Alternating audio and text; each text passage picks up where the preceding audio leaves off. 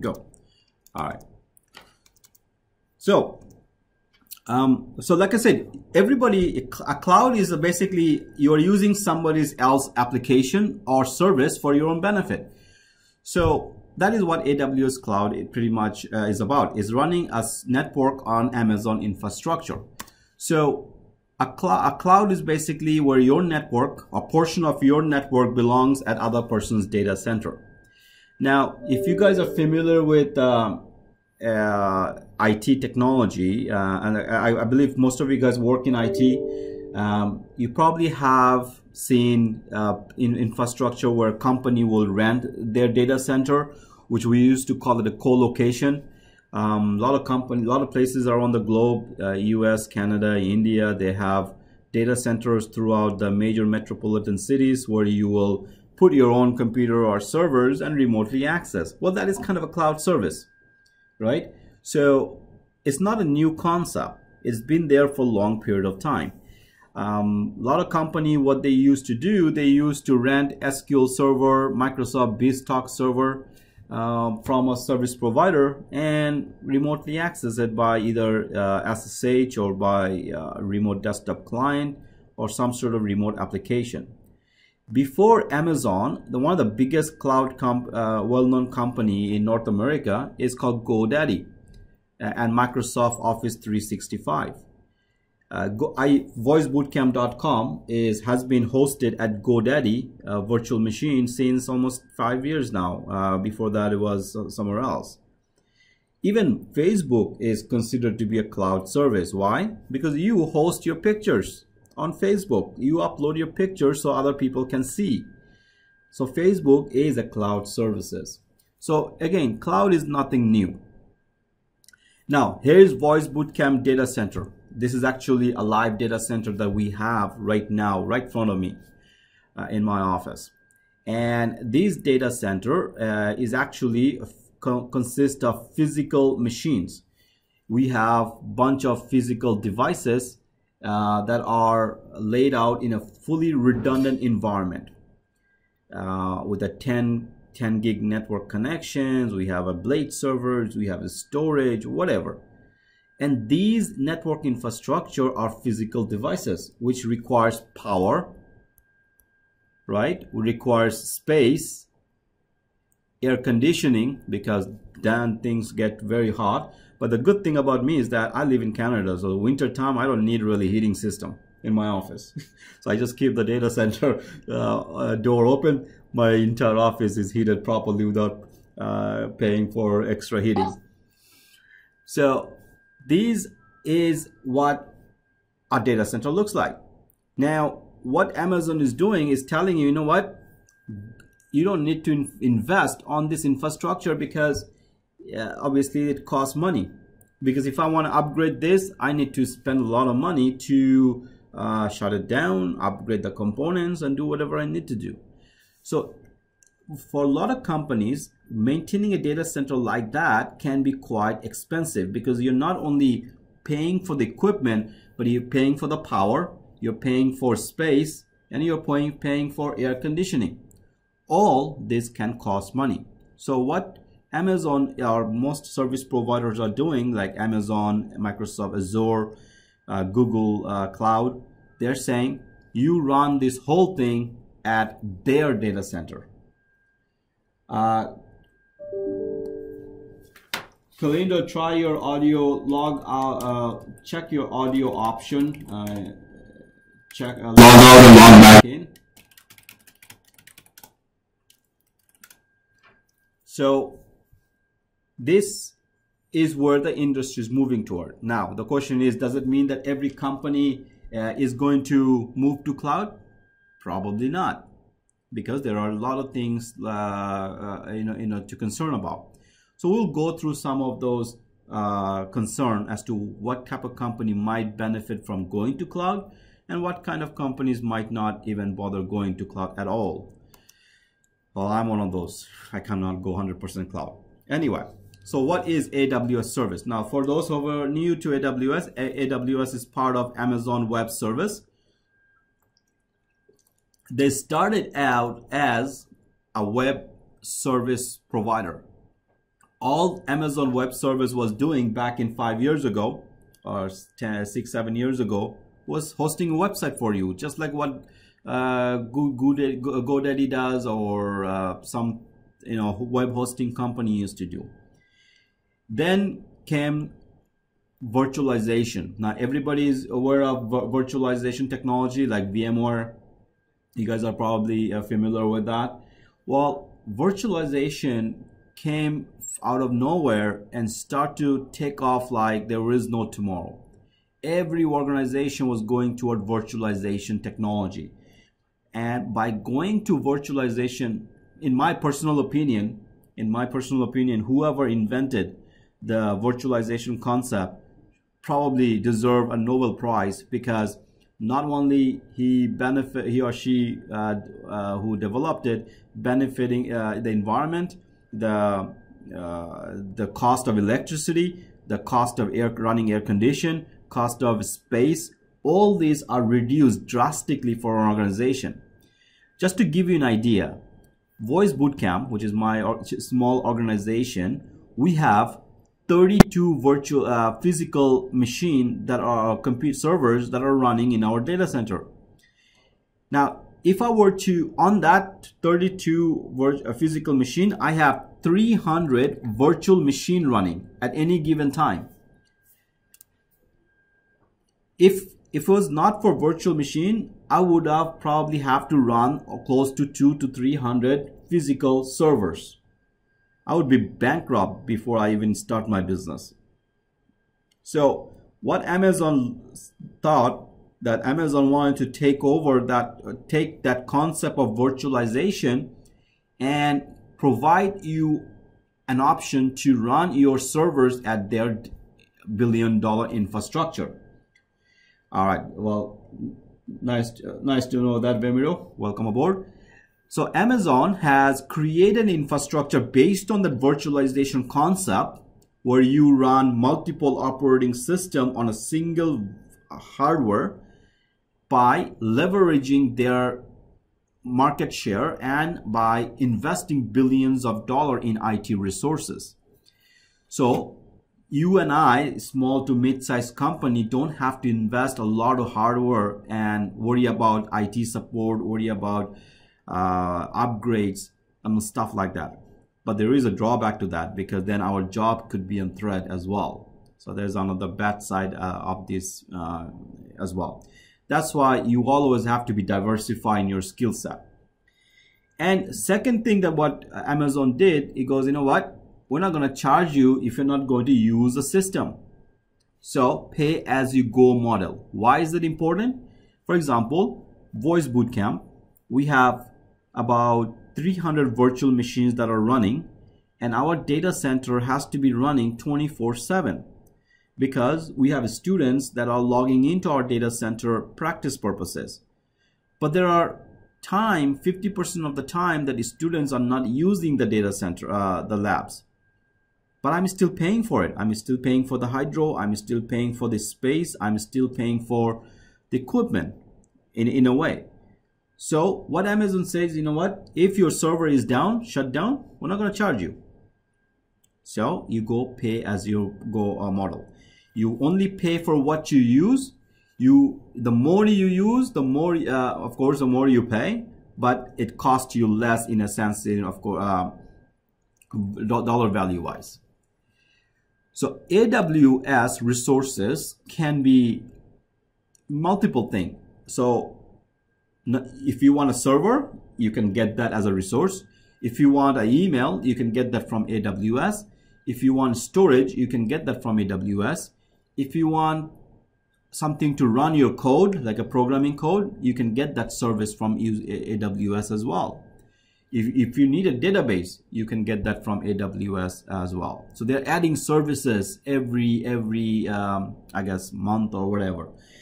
Now, Recently, AWS introduced a very nice application called AWS Connect, which is basically a call center application for small to mid-sized company. And probably next, eh, sometime this month, I'll be doing a seminar on that AWS Connect, and I'll invite you guys to join on that seminar as well.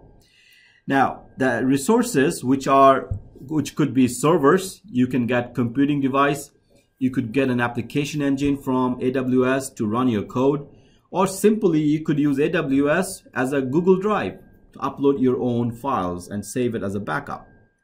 So benefit of running AWS is to reduce the cost of maintaining your own data center. You do not have to worry about upgrade or patching your servers. Almost zero downtime if you plan it properly and is a pay per use model. So therefore, you only pay for what you use. AWS infrastructure is probably the, probably now the largest cloud service provider in the world. And not only that, if what AWS has done, they have built data centers throughout the world in various countries. For example, they have one huge data center right now in India called Mumbai. Uh, they're adding a couple of more data centers there. They have one in Singapore, Sydney, US, uh, Europe, pretty much in uh, all over the world, except they probably don't have one in Africa yet, but they're currently working on it.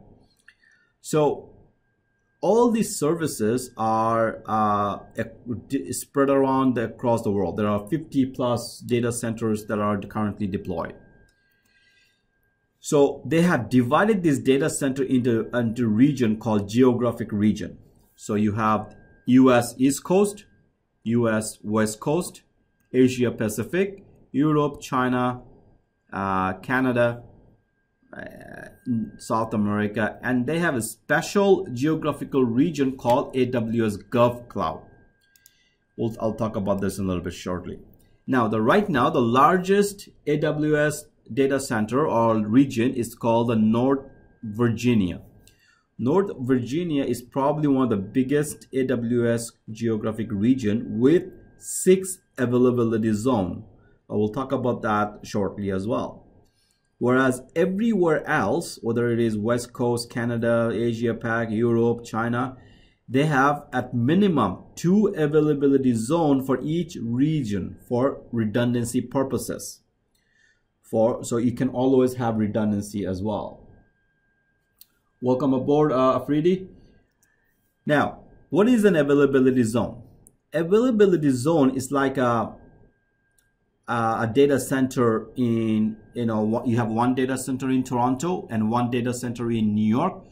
They're help, they're backing each other's up. So each region has two availability zone.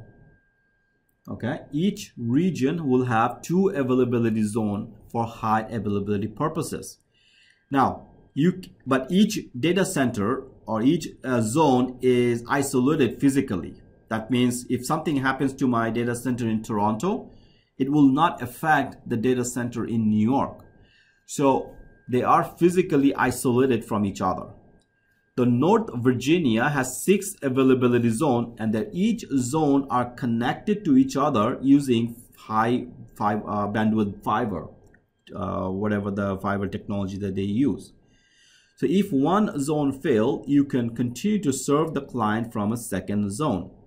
Now, keep, in one, keep one thing in mind.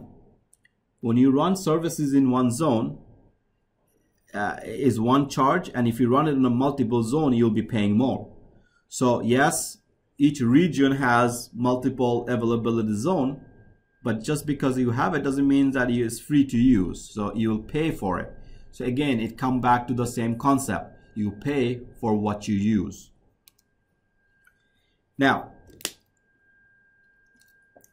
to speed up the process of accessing data, what Amazon have done, Amazon has created over 100 edge location. These are not data center, these are edge location. Location where they have an application running called CloudFront. A CloudFront allows you to cache the most static content of your services.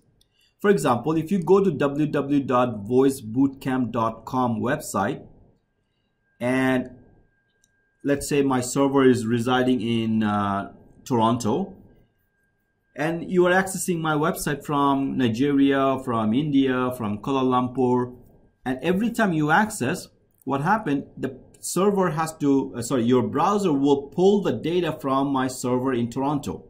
Now, if my web page does not change that frequently, again, some pages do not change that frequently, then what I could have done, I could use one of the edge location in Africa or in Asia where it will cache my static pages so that whenever you go to the voice bootcamp page next time, it will serve from that location rather than from Toronto. So it increases your performance and if anybody wants to attack my site, it can prevent some sort of, not prevent, rather reduce the risk of DOS attack, uh, uh, denial of services attack.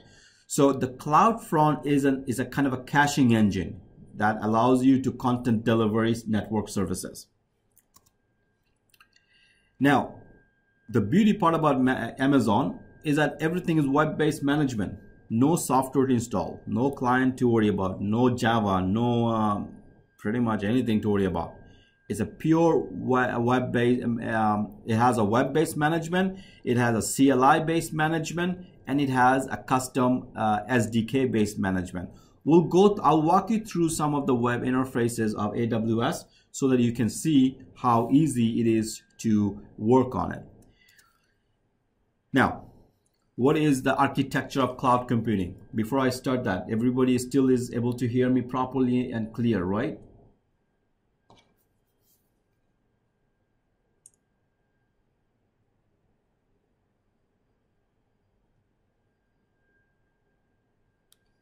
Okay, perfect. Now, when we talk, talk about cloud computing infrastructure, what cloud computing is, it is divided into four different services.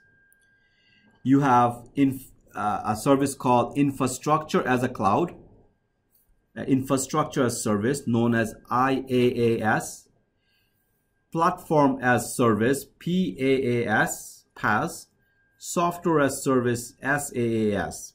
Now, let's say I want my web server, I want to put my physical server at AWS. That will be known as infrastructure because it's a, it's a server. You could be uh, VPC, EC2, EBS. These are part of infrastructure services. I, I need a web server. I go to Amazon website. I create a new server, virtual machine that is called infrastructure as services. Platform as service are, for example, I want to use a software. I want to use a specific software such as database.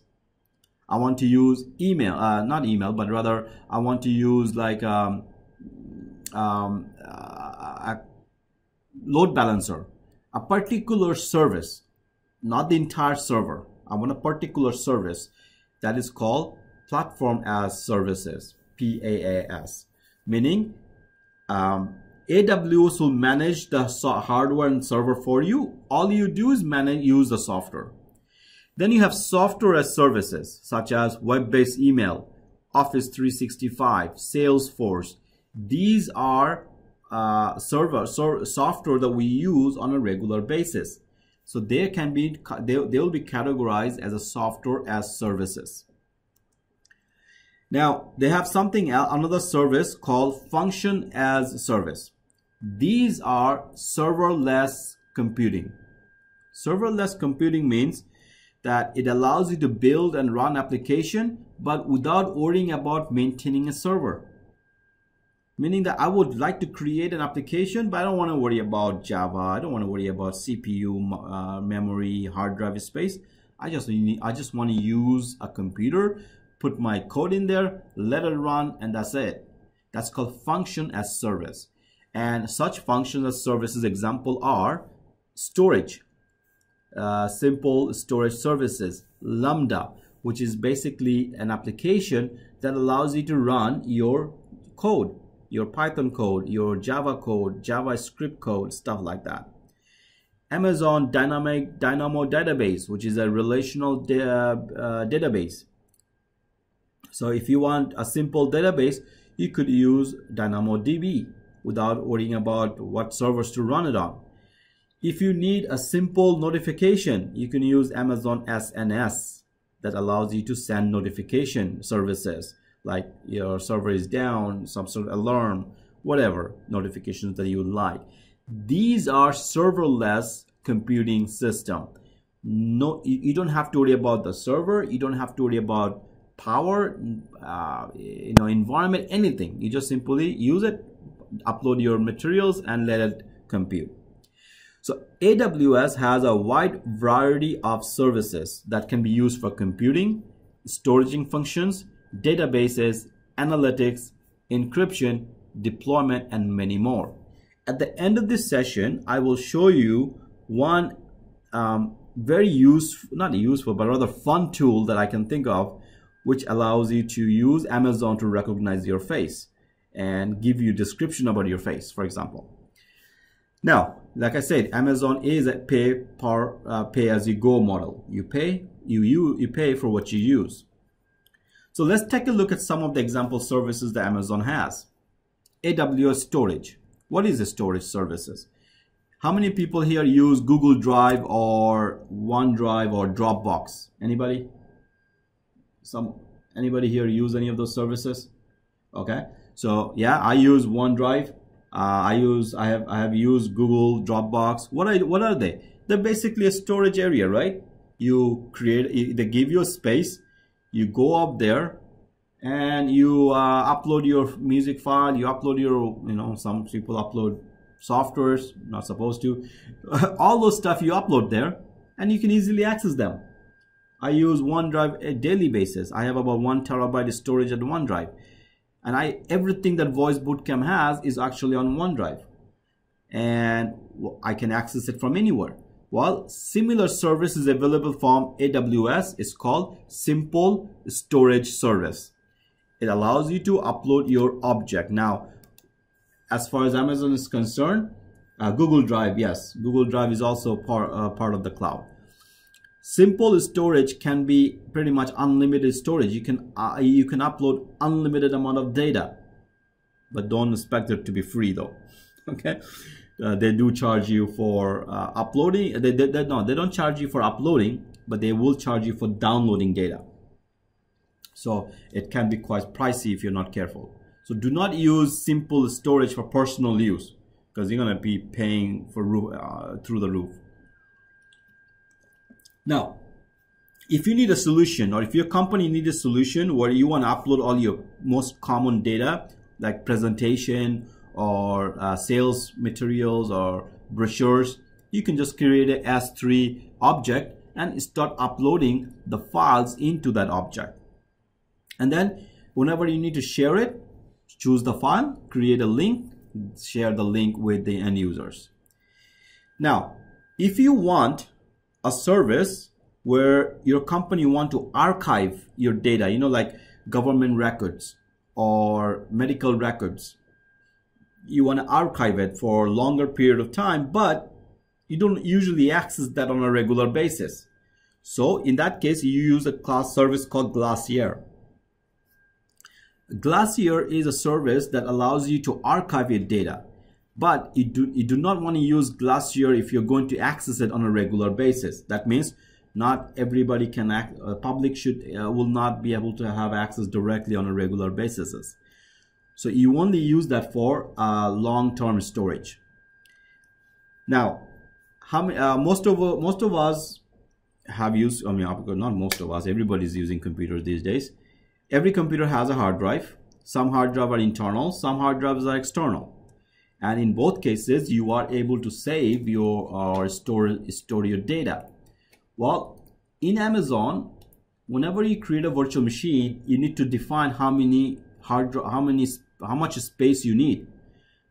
100 gig 200 gig 1 terabyte how much hard drive do you need? Those hard drive in amazon is called elastic block storage ebs which is basically nothing but a hard drive storage now, if you need 100, G, 100 GB of data uh, space, you will create an EBS storage size 100 GB or terabyte, whatever the, uh, you are able to afford. So then you will attach that EBS to, you will attach that EBS to an instance or virtual machine. so that that becomes a hard drive for that virtual machine. So we'll talk more about that elastic uh, block storage later. Now, how many people have used things like uh, network file share or uh, SAN, you know, storage uh, storage area network? Most of us who work in IT probably have dealt with that, where you're actually using a hard drive that is remotely access uh, connected to another device called SAN storage. So this uh, SAN storage called network file share, uh, this SAN storage that you're seeing called EFS is basically allows you to share a storage from another another server. So what what you will have is that you will have bunch of uh, uh, I guess EBS right here and then access that server uh, access that storage from multiple computers by using network file share uh, uh, uh elastic file system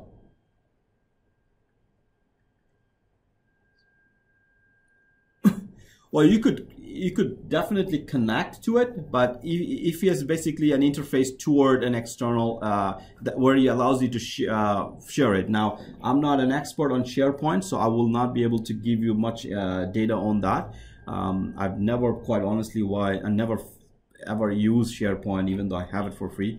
Um, but that's something that I can find out for you, uh, Freddy, and uh, get back to you on a later date.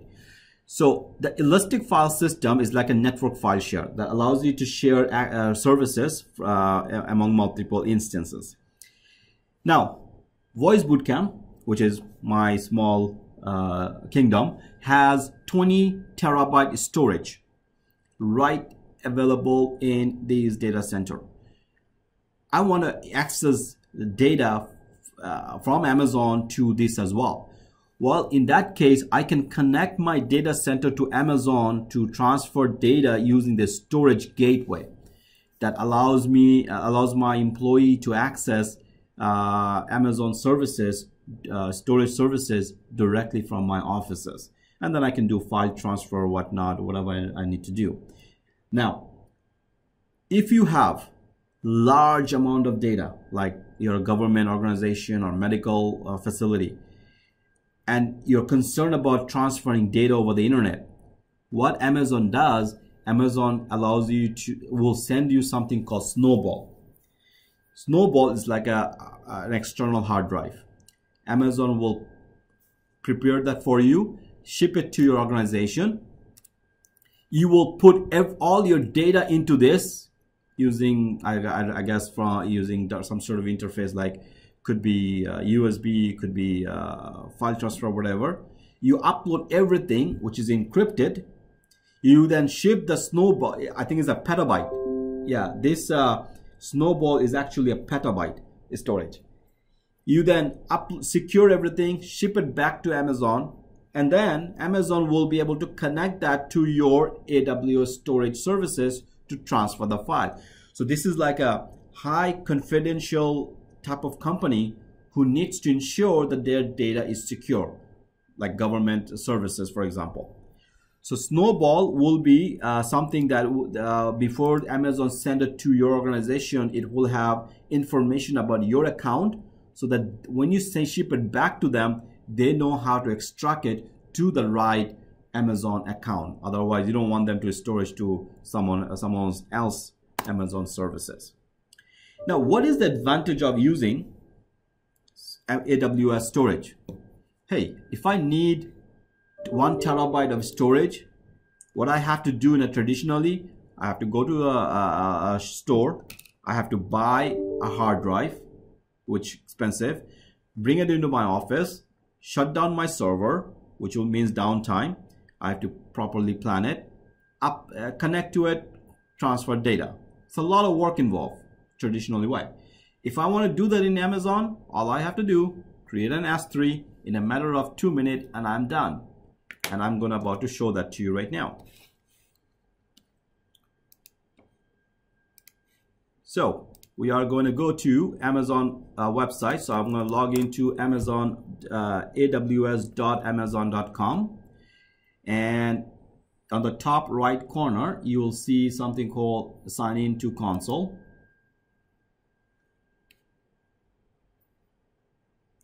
And when I'm logged in, I'm going to look, I'm going to search for service called S3.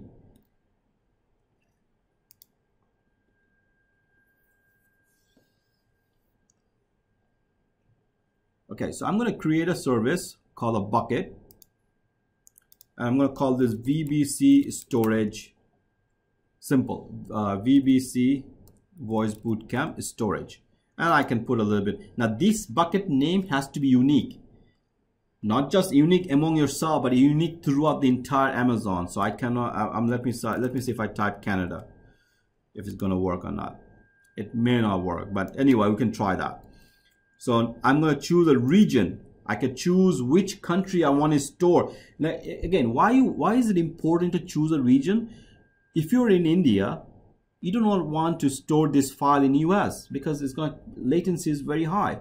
So you want to choose a region for closer to your region so that it increases the performance. So I will choose North Virginia for one simple reason, although I'm in Canada, North Virginia is the cheapest one. The price in North Virginia for everything is cheaper than any other region around the world. And also, some country like China, you have to use China region because of the government regulation. All right, so I will create uh, a bucket name called Canada. Let's see if it, okay, it says bucket name already exists. Look, I don't have a, I, I don't have a bucket name Canada. I have only one bucket name called Connect, but nothing in Canada. So how did it, how does it say it exists? Because it's globally. So the name has to be unique. So chances are that if you have a company name, somebody might have already taken it. Okay, so you have to be unique about this. So I'm going to say VBC storage. Chances are that nobody will have that. All right, click next. I, I don't want to uh, go through any of this configuration information, but allows me to customize it. I will click next. If okay, so if you want this hard drive to be accessible from outside world like public, then you can modify the public access list. I'm not going to do any of this right now. I'm just going to click next, next, and that's it. I have a, a storage created. I didn't have to go drive to the Best Buy or Future Shop or I don't know um, Shop DG to go buy hard drive. I just simply created one. Now I can go into that hard drive and I can upload whatever the document I want. I can create my folder, upload. It's easier to upload in our entire folder than it is to um, individual file. And as you are uploading it, you do not get charged. Uh, but the moment you download it, you will get charged. Now, Rochelle has a question, does do you have to pay for that? Of course you do. Of course you do. So let's say I want to upload something, a file. And upload.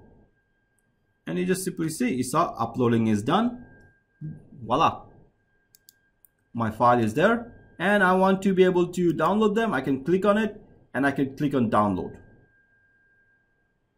if I want to download. Now, if I want to share this file with you guys, okay, if I want to share this file with you guys, then I will have to uh, change the access list permission and create a link for you, give that link to you, and then uh, have the link, uh, uh, then you can click on the link to download, just like Google Drive and everything. Now, the question is, do you get charged for this? Well, Yes, you do if you do not care, if you're not careful about that. Uh, uploading file, anything into Amazon, putting anything into the Amazon, you don't pay for it. But downloading it, you will pay for it depending on how much they uh, how much they charge you based on I think the data transfer. Um, however, I believe there are certain uh, free trial available for you guys to practice this on. Now, let me show you uh, uh, yes, uh, you're right. Uh, this is mostly for companies, not for personal use. Okay, so let's say I will go to my billing dashboard.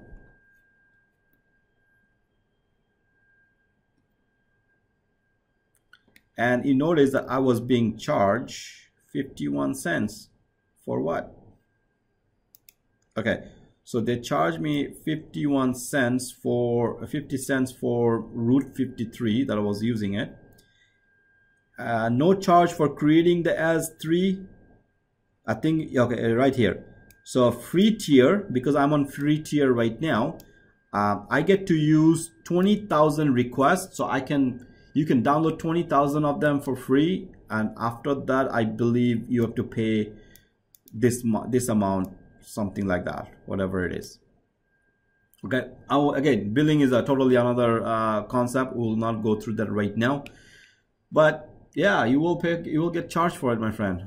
So because of that I'm gonna go and delete it. I don't want to pay for someone for nothing. So any anytime you guys are doing this practice uh, for practice I would choose North Virginia. It is not uh, yeah it is not too much for a company but uh, but it can be if you're not careful about it uh, they're afraid.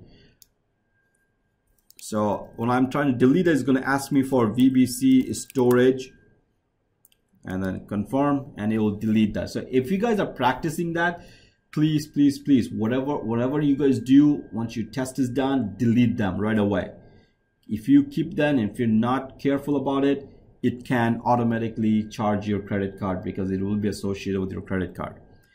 Uh, so delete whatever uh, things that you are not using. Now again amazon is for is for companies not for personal use. So um, you will be charged for it. Now as far as how much is it is it too much or less? It all depends on perspective right? Uh, look uh, every company is different all right so that's our first uh, insight. We're going to take a quick five minute break and then after that we're going to talk about the architecture of the cloud environment. Quick five minute break and then we'll start back with the architecture. We'll talk about the instances.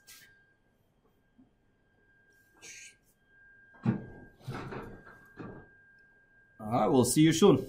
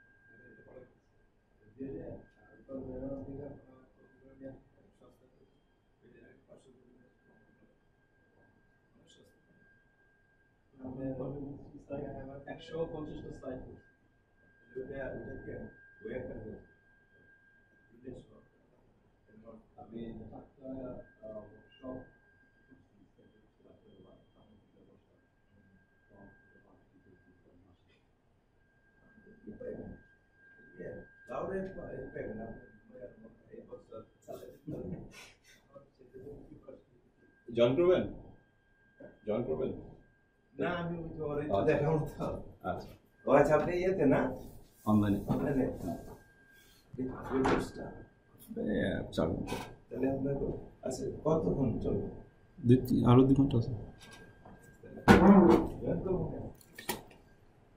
Uh, yes, uh, I will be sharing the slide after the sessions with you guys.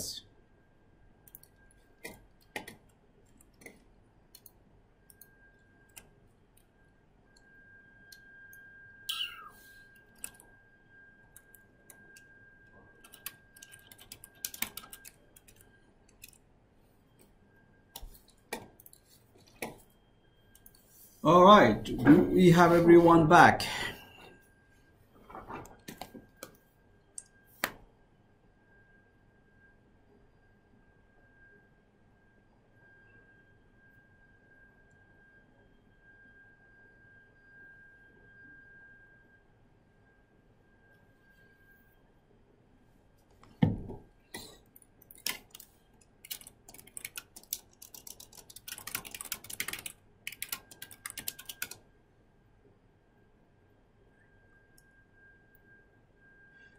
Uh, Freddie, there is no certificate from Voice Bootcamp uh, because certificate you're gonna have to write exam at Amazon website, uh, Amazon Testing Center, which is uh, I think a PSI network or something like that that does the exam where you have to write it, uh, or you can go to uh, Pearson VUE after April 8.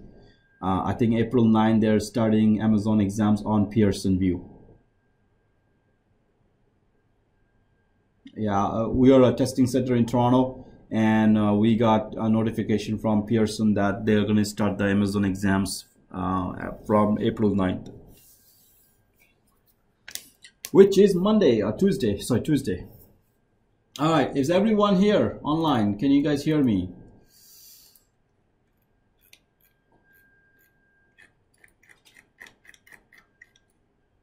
Wow, we have 67 viewers. Perfect, loud and clear. All right, so architecture of cloud environment.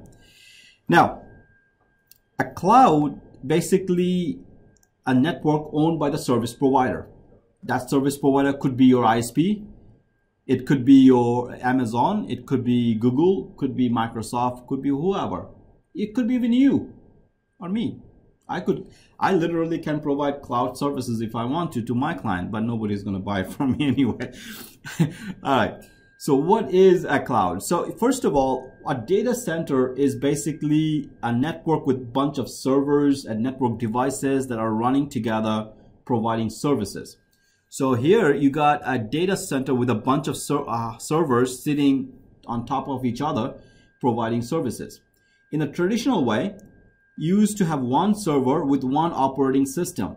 For example, if I have one particular server, I could run only Windows 2K or I could run um, um, uh, Linux server or Unix server, for, for example. Well, if I have multiple application that requires multiple operating system, sorry, uh, that means that I will have to get that many number of servers with that many operating system which can be quite expensive and sometimes daunting task. What industry, uh, what the technology was invented to resolve that issue was called virtualization. What virtualization does, it allows you to take one physical server and allows you to run multiple operating systems simultaneously. That is called virtualization. You could run Windows, Linux, Unix, all at the same time in the same hardware by using a virtualization layer. That virtualization was uh, take uh, well Amazon took advantage of that and created an infrastructure where you get to use the virtualization on demand and self-service manner. And at the same time, gives you the ability to increase or decrease your uses called elasticity. So one of the biggest advantage of uh, cloud architecture from Amazon is that first of all, it is on demand, meaning three in the morning, if you decided that you forgot to create, you need to create a web server, you could do that. You don't need to go to the uh, uh, call your vendor and order a new server. Simply wake up three in the morning, make a coffee, and while you're making a coffee, you could have created a virtual machine while your coffee is still being pure, poured on your cup. Easy uh, easy easy as any anybody pretty much can do that. Elect, elasticity meaning that if I want to if suddenly I realize that I need to increase my memory on my hard drive I could wake again do the same thing. Wake up 3 in the morning pure start a coffee and add a memory without even any downtime I could easily do that. The option of elasticity to achieve that give me give, gives me the ability to increase and decrease on the fly. And I only get to use pay for what I use. Now a virtualization is a software that runs on such as VMware that runs on top of your infrastructure uh, physical machine and, and then provides you the ability to create multiple operating system. Now here's an example of an HP blade server and you notice this is the blade server. Each one of these square boxes that you see, these are called these are physical server. I have one, I have two of them, and so total I have 32 virtual uh, physical server. But on each of these virtual uh, physical server, as you can see, represented by a unique IP address, is running multiple is running multiple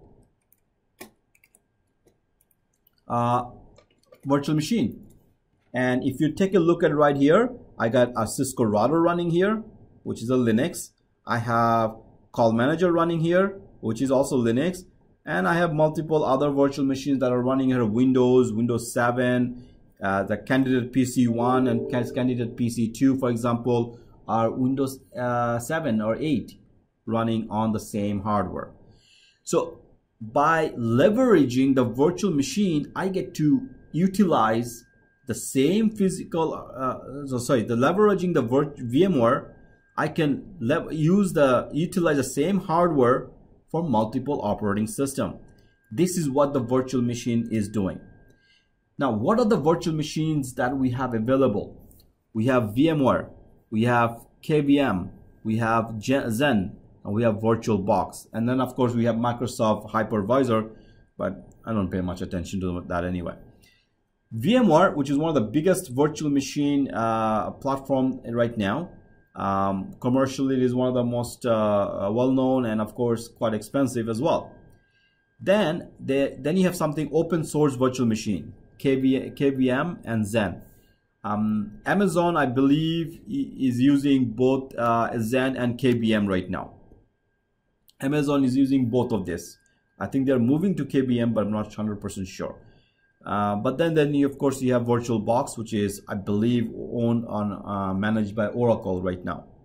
So these are the type of virtual machines that you have available. Xen and KVM are open source, so they're basically free. Now, if you're using a VMware, you would create a virtual machine by right-clicking on your host and then follow the instructions you, you do exactly the same thing on Amazon website. You want to create a VMware, you create an instance, and you follow the instructions. It's as easy as it is. The major difference, this is an internal system. This is probably hosted in the cloud. Now, management of uh, AWS can be managed by uh, the web interface, AWS um, Management Console. You have CLI management where you can run commands, command prompt management services. You can also develop your own web interface to customize, create a custom management interface to manage your uh, platform using SDK. Now, some of you guys might be a programmer, and if you have a better idea that, you know what, I don't like the AWS web interface. I'm going to get someone from India or Pakistan to create a very nice web interface and I'm going to sell that as a service. Well, no problem. You can use SDK. So you can create your own management tool and sell it as a service and Amazon wouldn't, wouldn't, wouldn't even care about it because it gives you the ability to do that.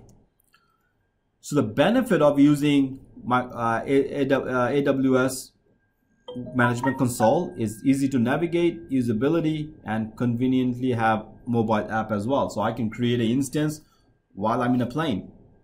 Actually, I've done that just for the test of test of it. Uh, you can also run programming uh, if you are someone who coming from Linux background. You could be running command line instruction and manage your system. You can create instance from CLI. You can uh, add network from CLI. You can pretty much do as many as anything you, uh, that you can imagine.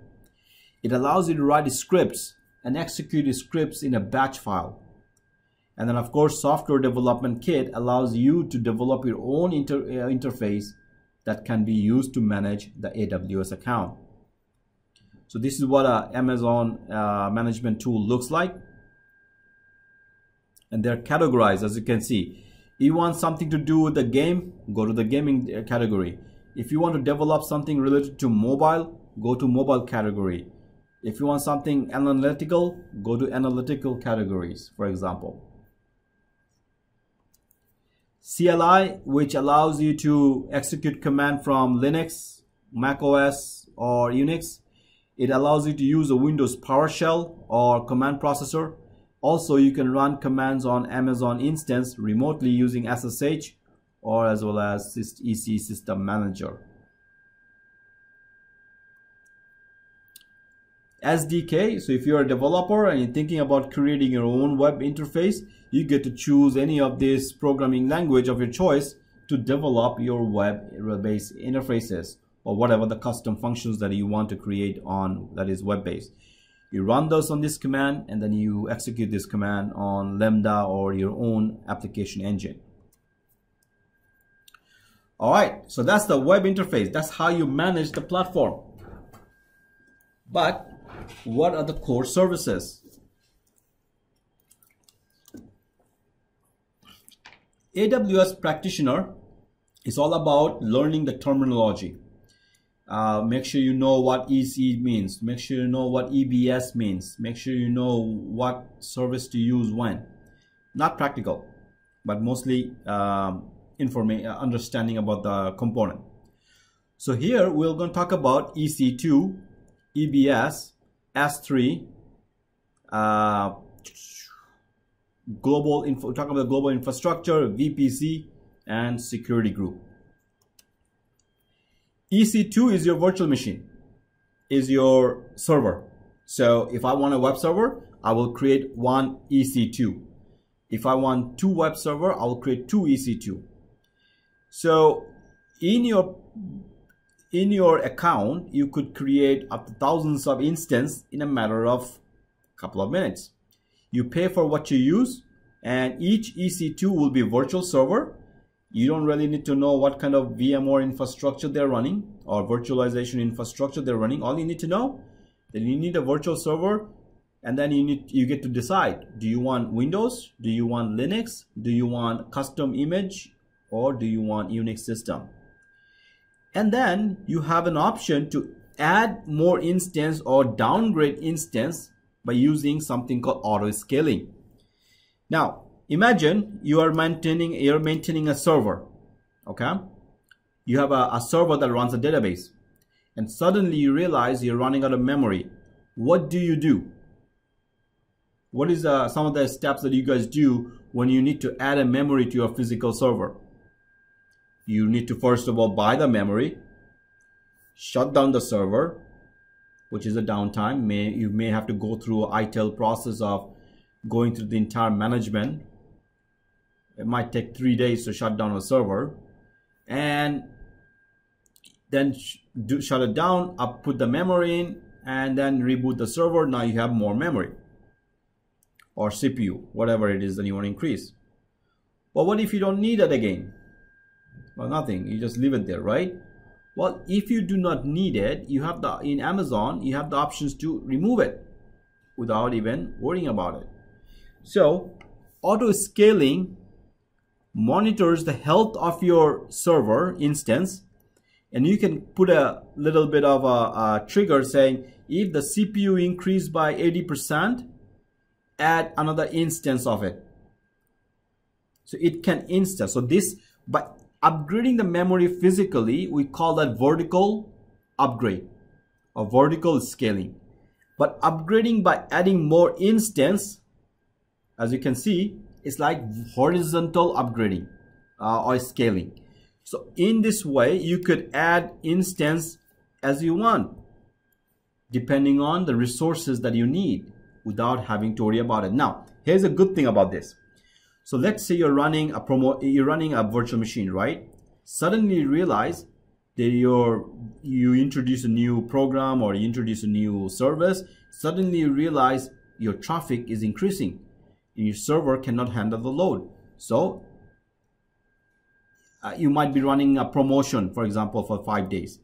And that during that five days, you saw the traffic is spiking. Uh, a perfect example would be Cisco Live or uh, GITEX in Middle East. During that five days, you could add instance as many time you want. Five of them just to serve the customers and pay for those five days. And after five days, it can scale down back to zero, or sorry, back to one. So that means you don't have to keep paying for rest of the month or years or whatever. That is the beauty about these uh, these services, virtual machines. So yes, AWS allows you to increase, but also allows you to decrease when you're not using the services. Now, Elastic Block Storage, EBS, which is your hard drive. There are two type of uh, EBS you have, HDD, which is cheaper, and then SSD, which is a bit more expensive, uh, solid state. In both cases, there are persistence. That means if you shut down your server, reboot it, and up, uh, start again, your data is still there. It's called persistence. However, if you delete your instance and recreate it, then you lose your data. Keep that in mind. When you create a block of storage, you attach that storage to a instance, just like how you attach a hard drive to a computer. And then you have the option to replicate that data in the same availability zone without paying for any fee. You can back up using taking a snapshot. You know how you take a VMware snapshot? If you're going to use a snapshot, it's going to cost you more. If you remove the option of snapshot, it will cost you less. You can encrypt the data transport as well. And it allows you to increase the volume on the fly. So if I need one terabyte tomorrow, I can increase it without having to buy a new hard drive. Of course, you're going to pay for it.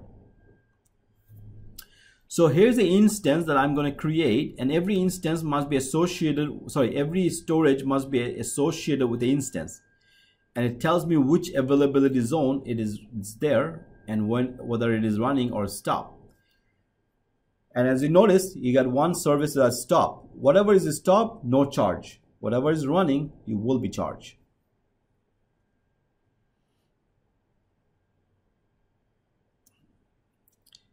Uh, we talked about the Amazon S3, which is your storage service, allows you to store unlimited number of objects access anytime from anywhere and provide rich security control. Global infrastructure, we already talked about that. Region, we talked about that. Availability zone. Okay, so repeating slide. All right.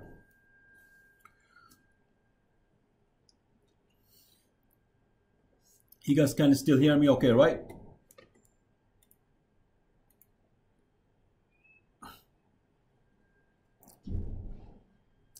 Now, one of the first thing that you do when you log into Amazon is that you create a virtual private network. Okay, you create a virtual private network. So before well, there's already there's already one there as part of default. Uh, that's already part of default. It's called um, VPC, Virtual Private Cloud. A virtual private network in Amazon is your own space. You get to do whatever you want in that space. Nobody else get access to it. By default, all access to VPC in and out is automatically blocked. You can only work, you can only access it between your um, services. In order to get access to the VPC, you gotta tweak the security a little bit. So whenever you create a virtual private network cloud is the same concept as on-premise networking. It allows you to control, it gives you full control of your network configuration. You can isolate the VPC if you want to, or you can give partial access to VPC if you need to. There are several layers of security, which ability to allow and deny specific internet and internal traffic. Within that VPC, you can run all these services that you get to use. So whenever you want to add services, you have to define which VPC that that service should be accessible. Voice Bootcamp has two VPC. We have the production one for our corporate, for our you know internet uh, traffic, and we have an internal one for lab traffic. So we always put whatever testing that we do, we always use the lab-based VPC because nobody can ha nobody has direct access to that. Now, each uh, feature of VPC or virtual private cloud is that it allows you to choose multiple availability zone so that if the VPC in North Virginia goes down, the same VPC will be accessible from India, for example. So I get to choose multiple region, uh, sorry, multiple availability zone. I can create subnet which can divide the VPC into multiple different network.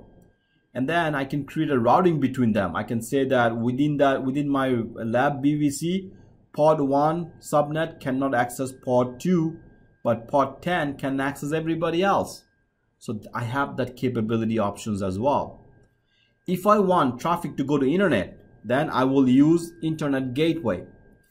If I want NAT, you know, because of your private IP address going toward public. I will use the NAT gateway. If I want to control what goes out and what comes in, I will use network access control list, like an access list. Now here's an example of a VPC. So I'm creating a VPC called test VPC with the subnet 10.0.0.0 slash 16. And then this VPC is on available on US West Coast Oregon uh, region. Now, within that VPC, what I'm going to do, I'm going to create two subnet, subnet A with this IP block, which is under, which is subset of this. And then I'm going to create a second subnet, subnet B with a different block IP address. It's still subnet subset of this. okay. So now I could create a routing between them. So I can transfer uh, traffic from subnet A and subnet B by doing routing. But I cannot send traffic from either, either of these subnet to internet. To be able to do that, I must put an internet gateway. Now, when I am connecting an internet gateway, I'm only allowing traffic from this subnet, but not from the subnet B no traffic out from that subnet is allowed. So I have full control of that if I want to. So just like a typical network, right? You need to allow traffic. Now, obviously to send the traffic out from in, inside to outside, you're gonna have to do netting. And then as the traffic goes outside or coming inside, you need to create an access list. So that's where the security group comes into play. In Amazon, security is one of the most highest priority. Why? Because you got thousands of clients around the globe using and sharing the same resource.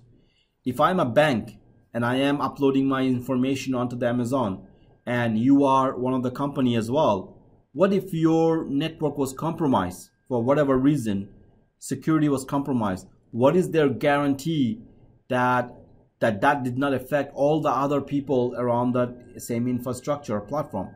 So that is one thing that Amazon has to give the company an assurance that one compromised area should not affect everybody else. So security is one of the highest priority for Amazon. and it does so by creating an built-in firewall and by creating an access control list who gets in and who gets out. So when I have a corporate security, I could create different group for different type of application. I can create a web group, I can create an application group, I can create a database group. And then in each group, I decide what type of protocols are allowed. Inbound or outbound. So I can enable certain port and I can disable certain port.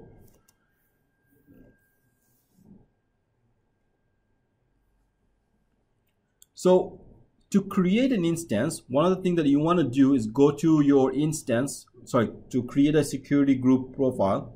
You want to select the instance and then go to the security group settings on the left bottom uh, area. And that allows you to create a, security group. If I create a new security group, I get to choose the name and which VPC this uh, security group is for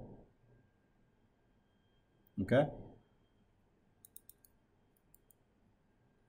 which VPC this security uh, is for so what we're going to do gonna, you can choose the lab one you can choose the production one and then create an inbound and outbound uh, list AWS practitioner uh, is mostly for people to get familiar with AWS components and being able to offer uh, solutions to uh, you know um, your customers a basic idea what components are available and what they're used for. But if you're a person who are designing it or responsible for designing AWS, then you got to go to the next, which is called AWS Solution Architect. Now, here under inbound and outbound, I get to choose my list. As an outbound, what traffic is allowed? What protocols are allowed? So this is where I will control inbound and outbound information. I can do the same thing for inbound traffic. The traffic allows from anybody as long as it is on port number 80. That means web traffic is allowed for inbound communication.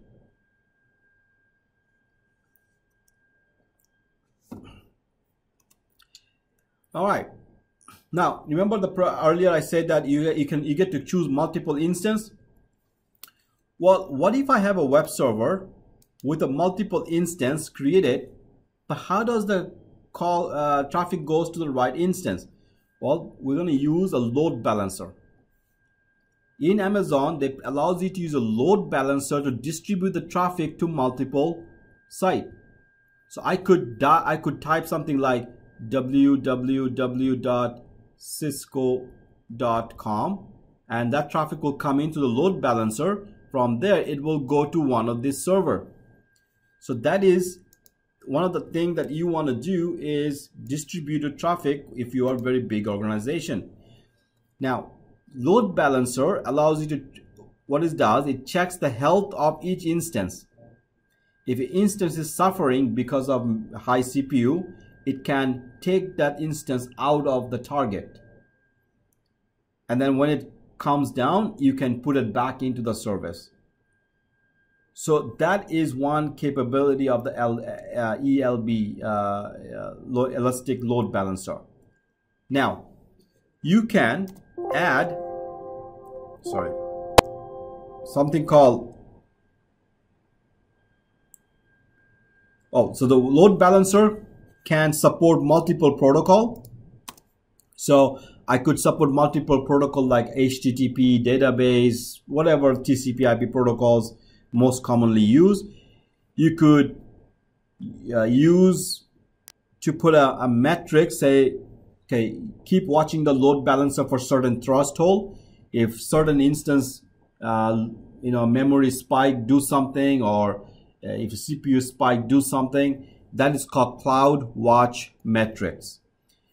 Access log, you can look at the log file. You can do a health check of your instance. And one of the things that it can do, one of the things that it can do is that it can decide where to send traffic to if one of the instances is busy. It can support IPv6, it can support dynamic port, and it can delete and protect request tracings. Load balancer as the traffic comes in here, it can choose different instance based on different port for the same traffic. So I could be dialing some www.voicebootcamp.com. It will come to port 80 onto the load balancer. But from the load balancer, it can go to app application 1 on port 80 application 2 on port 8080 on application server 3 on port 3306 for whatever reason. So as a customer, I will not have to remember which port to use for which server. All I have to say, go to www.voicebootcamp.com. It will come to the load balancer IP address, not the not this IP address, not this, but the load balancer IP. And then load balancer will send the traffic to the respective target. So to do that, I must first create a target group. So this is a target group. And in that target group, you got targets. These are targets. Okay, these are targets. And then I need to listen. So these listeners right here. So these are the three things, listeners, target, and target group. Listener is a process that checks for connection requests. So one of the listener on this load balancer is going to be HTTP, is listening for HTTP traffic. If you want to listen for Microsoft SQL Server uh, traffic, you will enable the port 1433. Therefore, 1433 becomes the listener as well. Target is the server IP address that's going to serve the call or request. And target group is a group of target working together. So here's example. I am listening for certain port, whether it is, whether it is HTTP, SFTP, TFTP, whatever, doesn't matter. And then I'm going to send the traffic to, I got two different group, target group in organized differently. So I can create a target group called India and I put the two serve uh, instance in India and I will have another target group called USA and put all the servers in USA and then use the listener to point the traffic to whichever direction I want. So the load balancer can be accessed by going to your instance dashboard and go to the load balancer and just keep following the instructions as part as uh, configuring load balancer is concerned. Again, this course or seminar is not about full detailed configuration. It's to give you overview about the product, certifications, and what other components and what they do so that you get to make a wise decision in, when you're proposing a solution to a customer auto scaling is the most important node or component within AWS. Auto scaling allows you to increase your server resource dynamically by adding instance or removing instance. So, so here's an example when web server 1 in availability zone increase its CPU by 80%, I can use an auto scaler to say, you know what, create a second web instance in a different availability zone with a different subnet so that it can it can provide the load balancing or uh, yeah load balancing mostly. Now somebody has to keep monitoring that right? Somebody has to keep monitoring that. Like when does the cpu increase? The job of the person in the uh, component that is responsible for monitoring that is called the cloud watch. So cloud watch is a component that is mostly used for health check monitoring support stuff like that. So you will use the cloud watch to say you know what? If this guy's cpu reach 80% or greater than 80% then add instance. Keep adding instance. So you need to define what is your most busiest hour and in auto scale uh, in auto scaling you can configure such that during the peak hour you want to increase your instance by one or two or during the slow hour you may want to decrease your instance by one or two for example. So that falls into your capacity planning and you should know when is your most capa uh, used capacity during the day or when is unused capacity during the day. So the basic, why do you add instance? Uh, let's say you run out of space or run out of CPU power, you need to add more server. So you just create an instance which automatically uh, add more power to your resources. So you can serve your website form using multiple computers or database or whatever it is. So auto scaling group, which is basic configuration, um, allows you, to, uh, of course, you configure the parameters and then you say scale out or scale in. Scale out means add instance. Scale in means remove instance, terminate an instance. And the moment you scale out, the moment you scale out, you're gonna get you're gonna get billed for it. You're gonna be charged for it. But the moment you terminate instance or scale in, you're not gonna you're no longer going to be charged for that. So the, chances are that you only get billed for the duration the instance has been running. So three components that are required to focus on is launching launch configuration like what do you want to launch uh,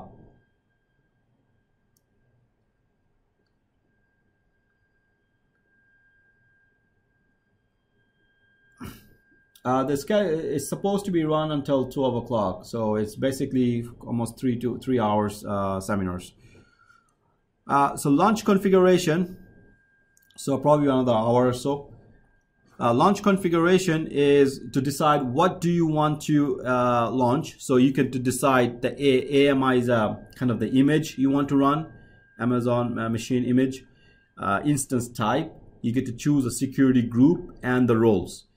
Then go to auto scaling group. Which VPC you want to run, what subnet, what load balancer, minimum instance you want to remove or add, maximum instance you want to add, desired capacity, the space, you need to define that. Then auto scaling policy. When do you want to execute? Uh, on demand or certain time of the day or scale out policy like how many instances do you want to add out how many scales how many instances do you want to terminate at once stuff like that if you want to dynamically do this you could use a CloudWatch a CloudWatch will monitor the instance, uh, sorry, uh, Elastic Load Balancer can send a trigger to the CloudWatch saying, hey, I'm running out of CPU on instance number two. I'm running out of CPU on instance number two. CloudWatch can send a trigger to the auto scaling, say, please add an instance, and it will add another instance for you. Okay, so you need to you need to learn how to configure these all options so that you can dynamically uh, add and remove uh, services. Uh, keep one thing in mind though, you do not want to uh, go crazy uh, just because you have the option because you're going to get billed for that. So here's an example where in the CloudWatch, I can say the CPU utilization is greater than 80% in a consecutive period, generate an alarm, auto scale from this security group, add two instances. You have the choice to add two instances or, one instance, is up to you. All right. Now, we all heard about DNS, correct? Domain name server that we type www.voicebootcamp.com or cisco.com, vmware.com. Well, it's, that name is served by DNS server and in, in uh, AWS, Route 53 is your DNS server. So all it, all it does is DNS. So I'll show you an example of Route 53. So I'm on my Amazon console and I will search for route 53 which is DNS uh, server and there I can simply add uh, by the way uh, Amazon will charge you $12 for domain name so if you uh, be careful if you want to do a, a route 53 lab you may not be able to test 100% unless you buy a domain so just to give you a warning so here you notice that in the DNS, I have one hosted zone. I have a zone called 02engineer.com. So I create a zone called 02engineer.com. Uh, this is my domain name. And when I click on that domain name, it will have one record that says www.02engineer.com pointing to this IP address.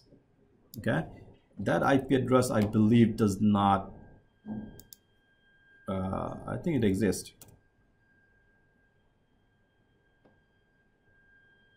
Yeah, it's my user blog. It still exists. Okay.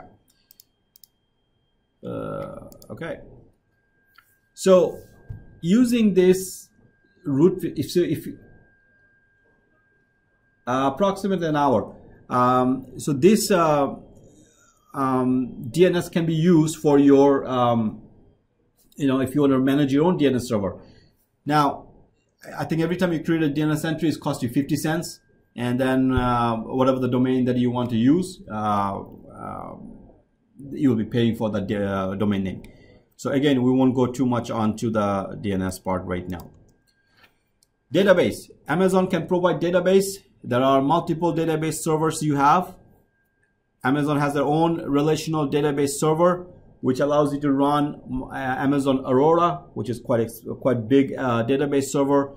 You can run Oracle, Microsoft SQL. You can run Microsoft SQL Server. Uh, Amazon has their own database, serverless database called DynamoDB, which allows you to create your own database without you to worry about what operating system. Now, if you're going to use Microsoft SQL Server, you may need to upload, have an operating system Windows. You have to worry about the memory and CPU, all those stuff.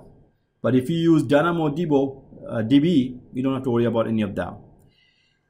Uh, Amazon has something called Redshift, which is for data warehousing.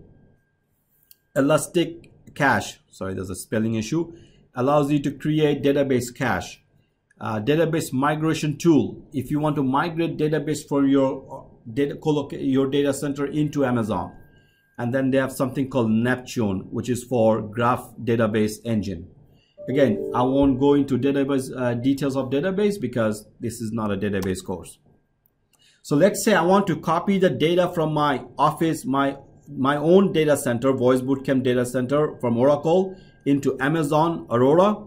I could use data migration tool, which allows me to transfer data from my office to the Amazon cloud. Lambda. Lambda is a fully managed serverless computer, which allows you to execute your own scripts. So Lambda is more like um, you, you, you develop your code and you upload the code to Lambda and it will execute it for you. And whatever the, your code does is going to be the result you don't have to worry about the managing the code uh, SDK or the version or anything. Lambda will does it for, for you. You could write a code that trigger an alarm. You could write a code to create an instance, whatever that you can think of. Uh, Lambda, for example, you could upload a code into from your mobile app into the Lambda and Lambda will execute it and send you the result back to you. Uh, an example would be you can take a picture from your, uh, you can take a picture from, let's say, you're, you're traveling Paris and you take a picture, you upload that picture to Bucket, your S3, and then dump that information to the Lambda code and Lambda will then recognize the uh, you execute something called Rekognition application analyze the picture and send your report back to your mobile saying okay this picture was taken in france. There are five people in that picture. It was a daylight. Some of the people are smiling whatever it will do all those analysis for you elastic beanstalk uh, elastic beanstalk allows you to use the auto scale and elastic load balance to scale and provide uh, man, uh, manage your workload. It provides a tool in a form of Amazon CloudWatch to monitor the health of your deployed application. It also provides the capacity to provision due to its reliance on S3 and EC2 instances. So if you really need a service that does that looks at the auto scaling and uh, load balancer, you know, to uh, work uh, to create a dynamic scaling, you want to use Elastic Beanstalk.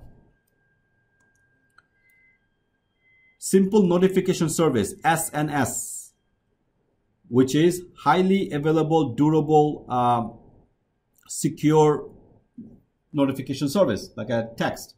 You can send an SMS to your uh, phone, you can send an SMS to your uh, email or whatever the services that you want. It's basically a, so, uh, notification services.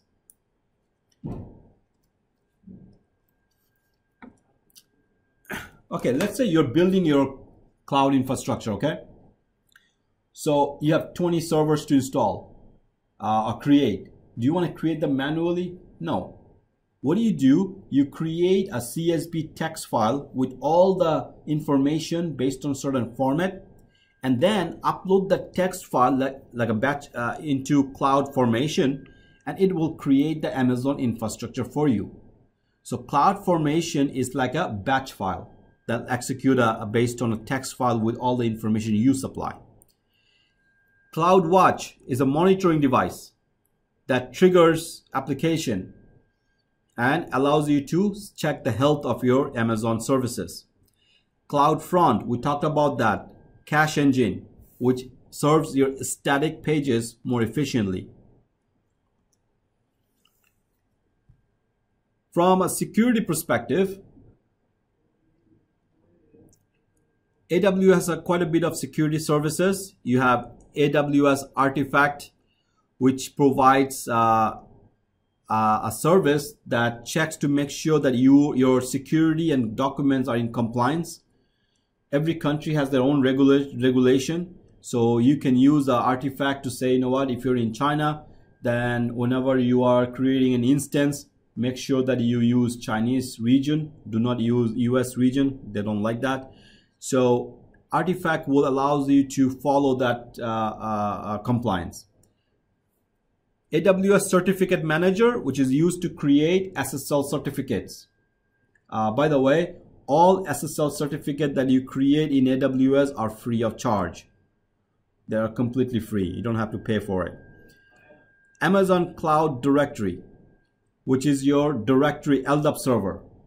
Not a Microsoft LDAP, but general LDAP server. Allows you to create multiple LDAP services. AWS Directory Service is your Active Directory. So if you just need a Microsoft Active Directory, but you do not want to buy Windows Server or install it by yourself or manage it, you just get AWS Active Directory, which is a fully managed Active Directory service in AWS Cloud. If you're concerned about hard, uh, hardware security, then you use AWS Cloud HSM hardware security modules, which gives you extra layer of uh, extra layer of security. Guys, you don't have to learn how to configure this right now. All you need to know what they are used for, just a high level. Amazon Cognito, which is a simple user identity and manage data synchronizing services that helps you securely manage and synchronize application data for your users across mobile devices. So it's mostly used for mobile device to synchronize data and applications.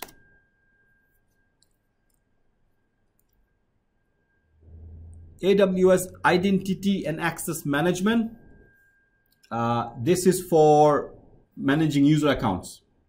You know, if I want to give you guys a different privilege so that I get to give the admin privilege, but I create multiple accounts with the lower privileges, uh, then I would use the AWIM uh, for that. AWS organization is like kind of like a policy based, you know, domain like Voice Bootcamp is an organization. So everything you do under that organizations. Amazon Inspector is an automated security assessment service that can help you identify your vulnerability. So it's like a kind of a, a, running a scan on your network to see if there is any port open that should not supposed to be. Maybe the passwords are weak, stuff like that. Amazon Key Management Service. This is to this is to manage your encryption keys.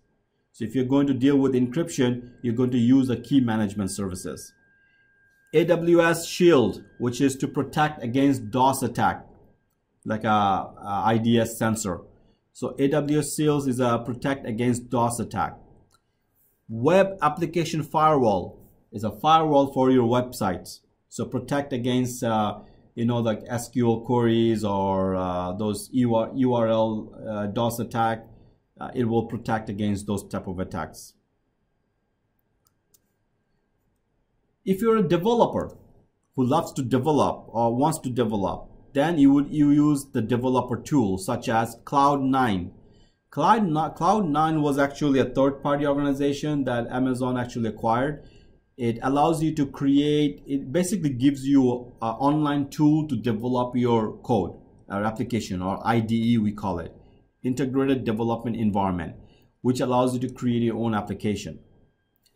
AWS CodeStar, cloud service for creating, managing, and working with your software development. Uh, it allows you to deploy, uh, quickly de develop, build, or deploy application on AWS. If you develop a code and you need to debug it, you will use the X-Ray. X-Ray allows you to debug your code before they go into production. AWS Code Commit. Code Commit is like a source code man, uh, virtual uh, version control, like a Microsoft Visual Source, which allows you to manage your, you know, all the modification that you do the code and it keeps a version uh, capability. Uh, sorry, version, uh, uh, different versions. So you would use the code commit for that. Code pipe uh, web is an Amazon Web Service that product that automate the software development process, allowing developer to quickly model, visualize, and deliver a code for new features. So you would want to use a code pipe for that. If you are building your own application, you could use a code build, which is a follow, um, fully managed uh, continuous integrated service that allows you to compile your own source code, run tests, and then package the software into executable format, and then of course provisioning it. If you're someone with the media, we're almost there, very close to that. If you are someone in the media, then you could use media uh, utility. Uh, for example, Elemental media convert. You can use the media convert to uh, which is a file-based video transcoding service. It takes a video file and it broadcasts it to the other person, uh, to the other people for deliveries.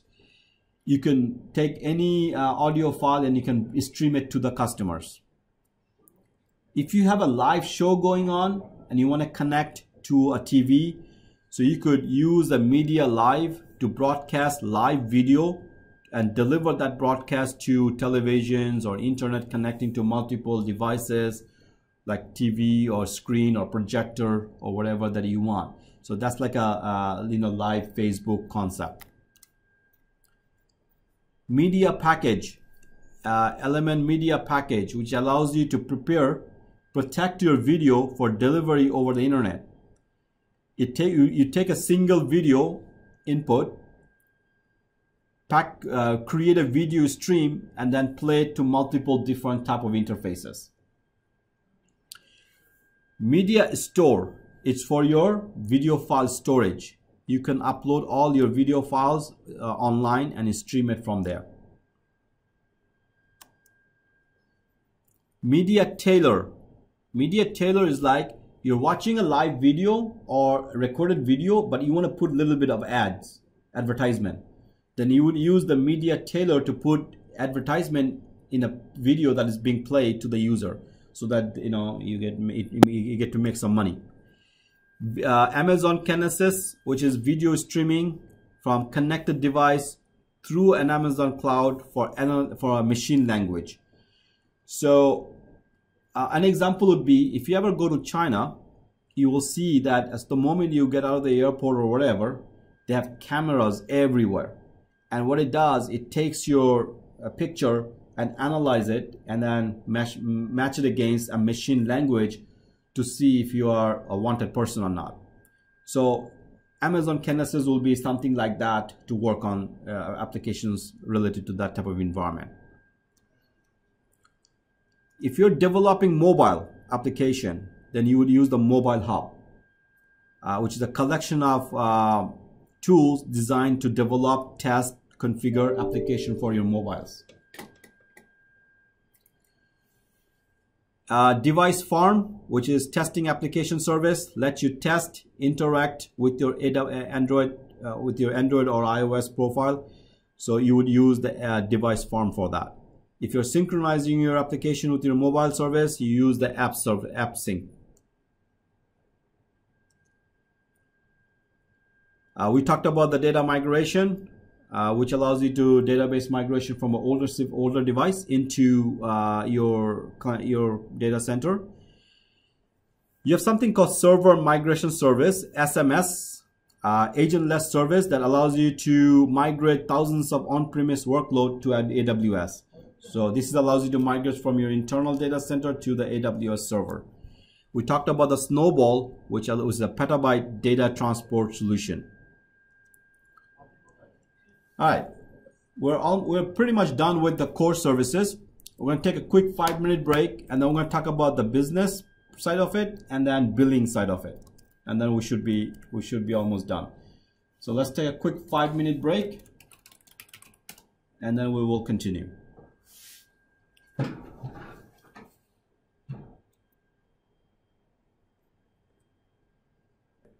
We're almost done, so a little bit more a few more slides and we're, we will finish it up.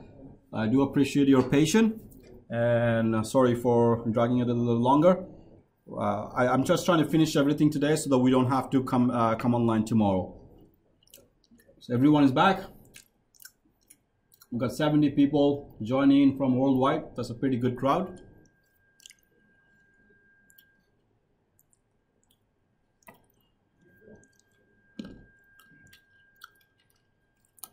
Do we have everyone back online? Can you hear me? Perfect. Well, all right. Last few slides to make sure that uh, um, I'll, I'll um, Sharma, is it enough information passing the exam?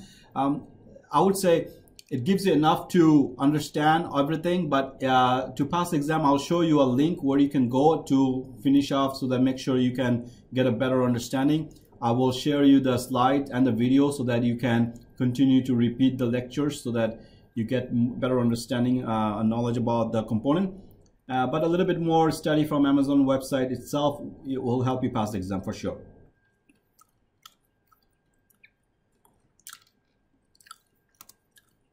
All right.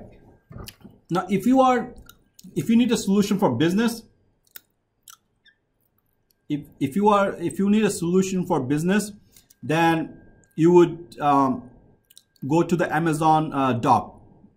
Um, Amazon has a work doc which allows you to create something similar to Microsoft Office uh, 365.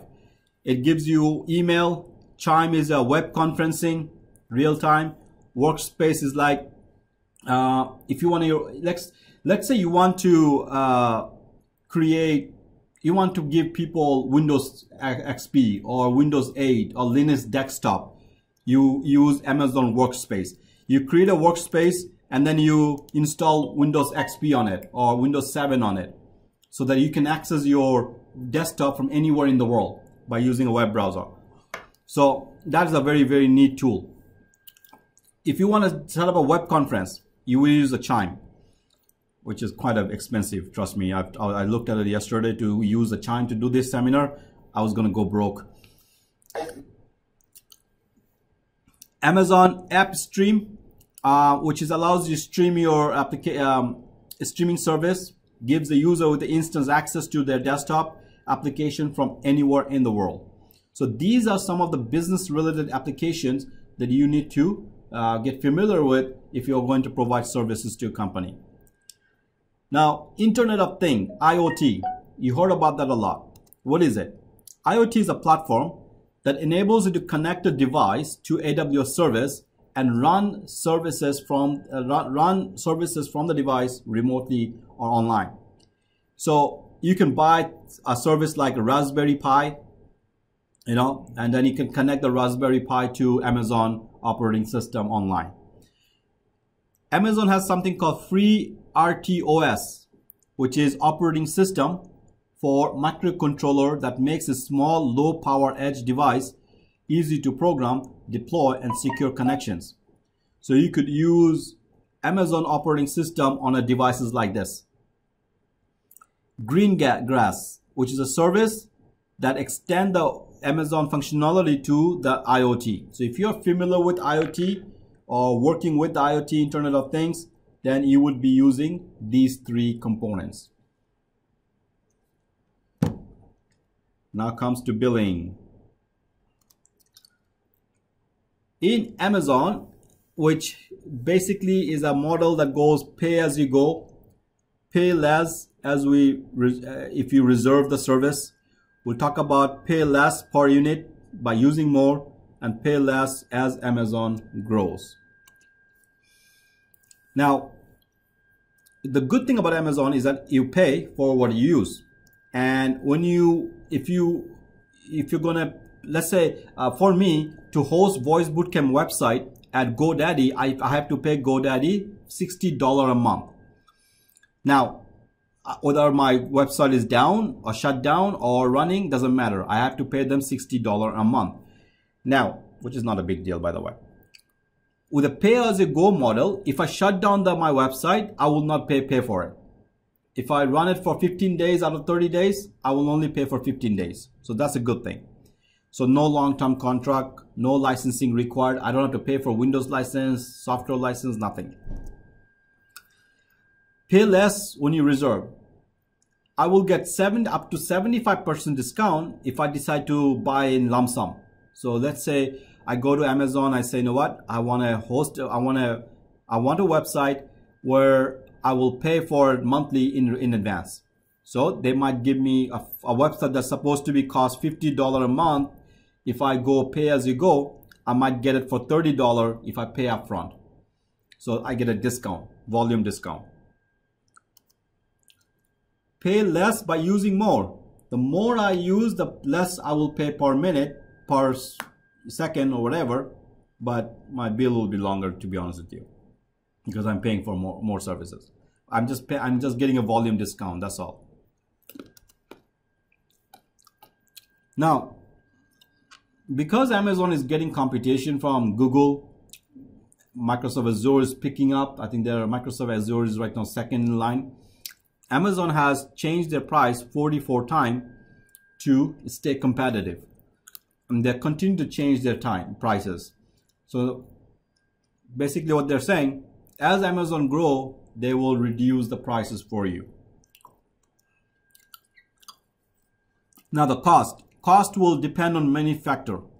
Um, there is no cost for inbound data transfer. That means anything I upload to Amazon, no cost for it if I transfer data from one server to another server in the same availability zone, no uh, same region rather, no cost for it. Like for example, let's say I have two server in North Virginia in two availability zone. I transfer data between them, I'm okay.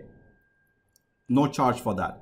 The moment I transfer data out of the region to Mumbai region, I'll get charged for it or to a customer outside of Amazon, I will get charged for it. So you will get charged for outbound data transfer. And this is the biggest thing to watch out for.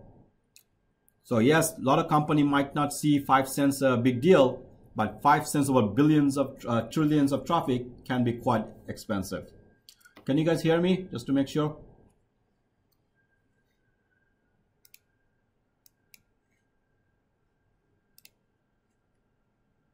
I just want to make sure everybody's okay one second.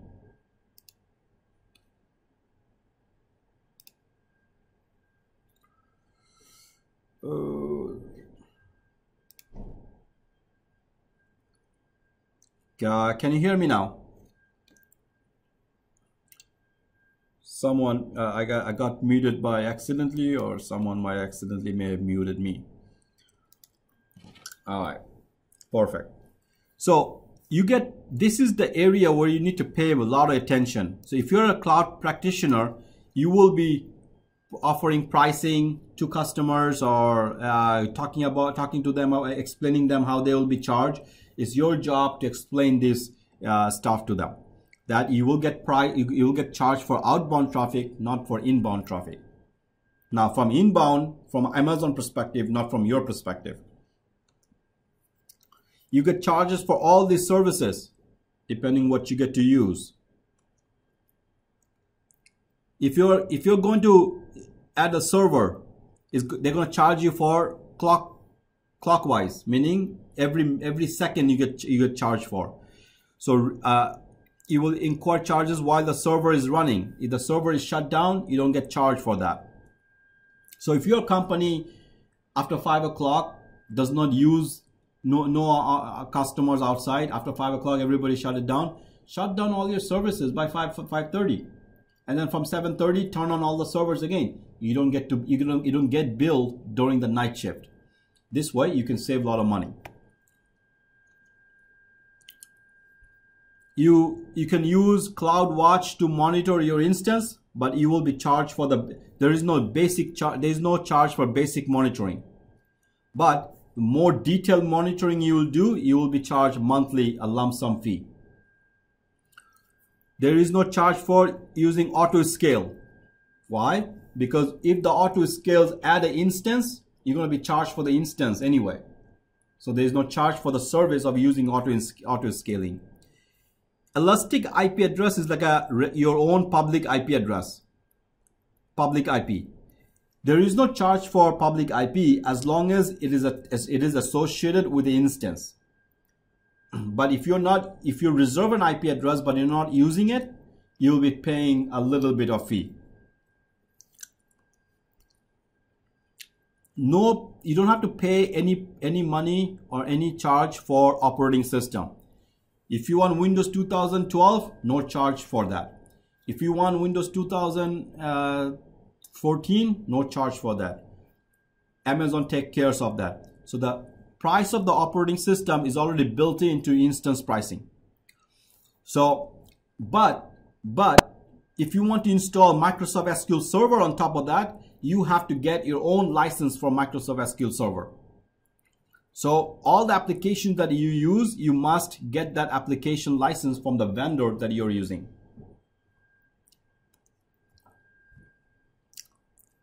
Your charges can be based on durability, how reliability you want. Uh, if you want 11.9 durability versus, sorry, uh, 4.9 durability versus 3.9 durability, you'll get charged for that.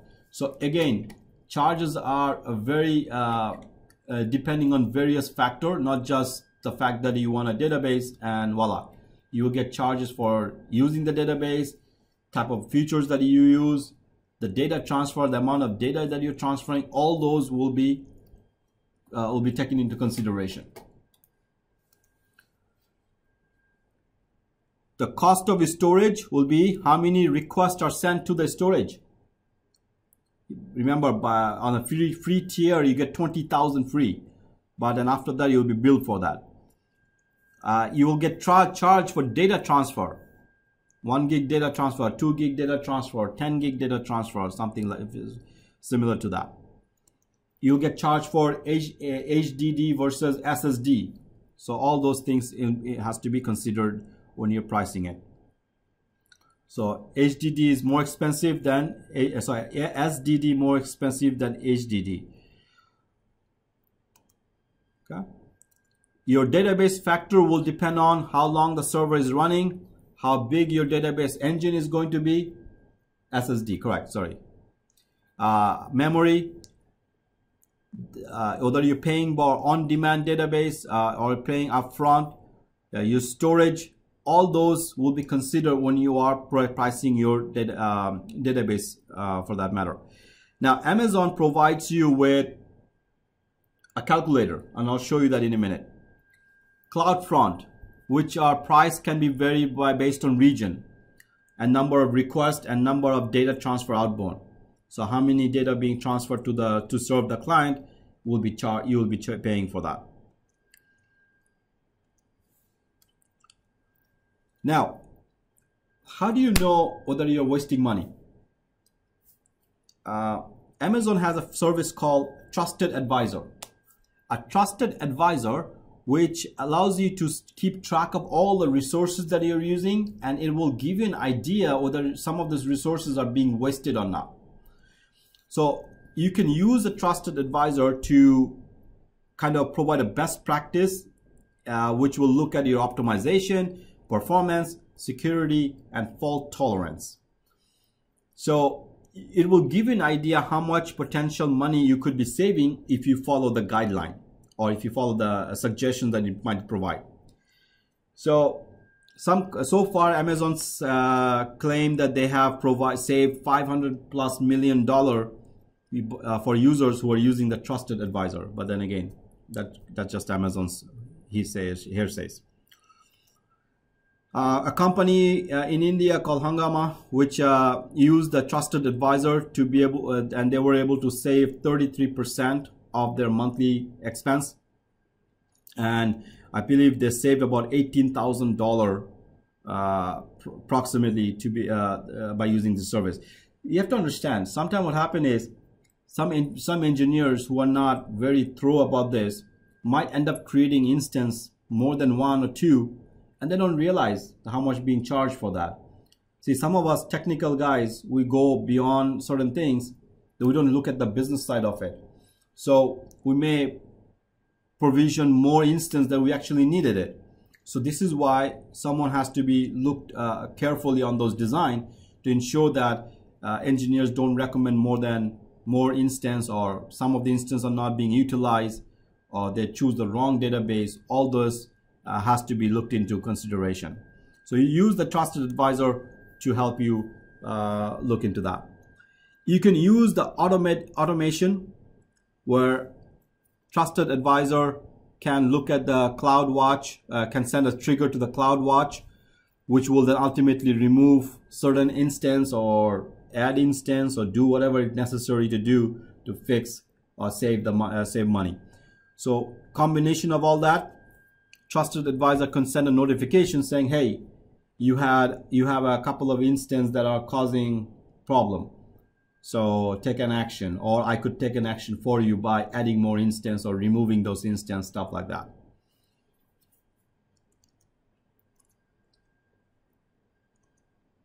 Uh, support, Amazon follows following support structure operational excellency, security, reliability, performance efficiency, and cost efficiency.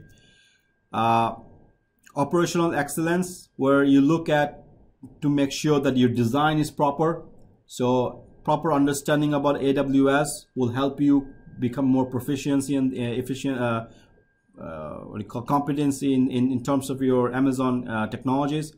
Make sure you design it properly. Make sure you document things properly any changes all those uh, stuff should be followed security make sure you have the proper security implement uh, in place uh, you're securing data you secure you're following the regulation of the countries that you are prepared for an event if something goes wrong what actions should should you should you take should be taken into consideration Reliability, make sure your servers are distributed in a multiple zones, multiple uh, availability zones, that you have a test, if you have a recovery procedure. Even if you have a recovery procedure, you should test it on a regular basis.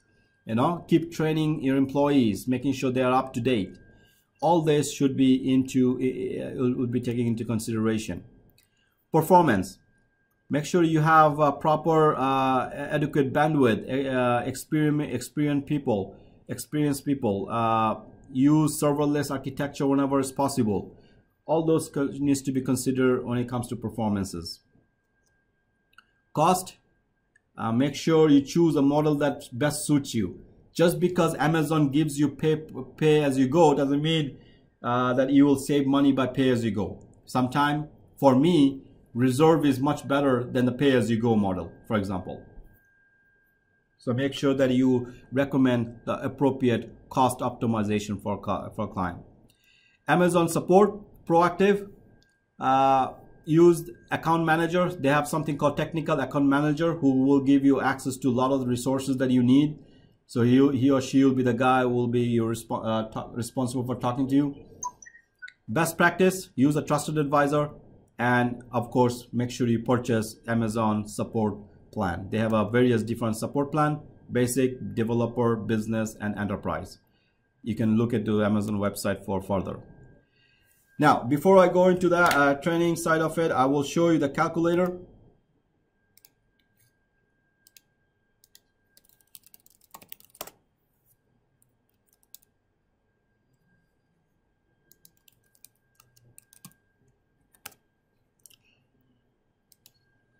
Uh, there are a couple of calculators available from Amazon website. You can simply put uh, select whatever services that you want, and Amazon will tell you how much it will cost you. So let's say if I want to use uh, an S3, which someone was talking about it, I want to use 100 GB, uh, sorry, 200 GB of data. It tells me it's going to cost me $4.85 per minute per month just to use 400 GB. Then I have to, then if I select how much data being uh, transfer input output from different zone, the cost will increase. So if I transfer acceleration, I don't know, let's say one gig per month, it only increased by 5.5 cents. Uh, data transfer is probably where you're going to get a lot. So let's say data transfer out, I put 25 GB a month five dollar see the more input you put in there the better you're gonna get uh, uh, more idea you're gonna get. I will share that uh, link to you so that you can use it for uh, where am I? Okay so I'll share the link to you guys. And you can try, that out. Okay so those are some of the tools available now if you are someone who are planning for uh, career in aws first of all go to aws.com they provide free training yes you can do this free training from aws.amazon.com. uh, it will walk you through how to set up uh, uh, how to get a one year lab access from amazon.com go to the uh, certification uh, learning create your own account and start practicing right away. Um, there are some tutorials available from Amazon.com. You can learn a lot of this and prepare for your certifications. Uh, today we, we talk about the uh, cloud certifications, which is practitioner, basically the basic fundamental about Amazon. From there, you can go to the solution architect path. You can go to developer path or you can go to sys, op, sys operating uh, administration path and some specialize, specialization. Solution architect has two level, associate level and professional level, like a CCNA and CCNP. So you can go to this track if you want to. So this solution architect are someone who are responsible for designing and planning for um, uh, AWS cloud. SysOp administration is system administration, day-to-day administration. If you're someone who's developer, then you, path, you choose the developer path. Uh, developer path will allow you to become uh, allows you to become uh, you know a soft development where you can learn uh, to write code uh, in Python or whatnot and become this engineer. If you have achieved the solution architect path as a professional level, then you can go into specialty. Specialties such as advanced networking, big data, do, uh, warehousing, and then of course you have security side of it. Okay, so these are the different paths that are available from Amazon. Um, now, some of you guys may have questions about uh, whether you'll get a job or not. Let's be honest about one thing nobody has a magic wand i wish i had i would be a uh, if i had one and i would be a millionaire today by giving you guys job uh, job is all about your own uh, preparation your skills the uh, how much you know how much you can sell yourself. So that will help you find a better, better job. Now obviously if you're in toronto um, if you are a fresher you will definitely need to get some hands-on experience.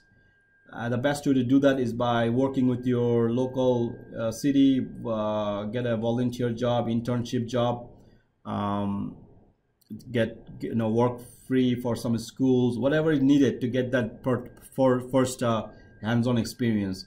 Uh, ultimately, you will get that job. So, but the key part about job is that you have to keep in mind you it's not just about your hard skills. You also learn need to learn how to how to manage soft skills. Communication uh, how to sell yourself how to prepare for interviews all those stuff.